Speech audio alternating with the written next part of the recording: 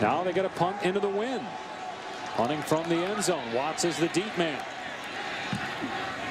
Good punt. And Watts going to let it go. We'll see if it checks up. It does. And it was touched at the 45 and that, and then it's picked up. It's picked up by Watts. It's a live ball. Watts inside the 40. He didn't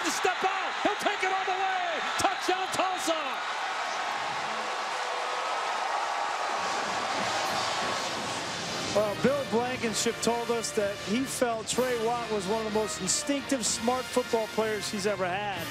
And he showed you why right there. Never giving up on that play. But can you believe it? They get the kick blocked. UCF didn't give up here. Going hard after the extra point.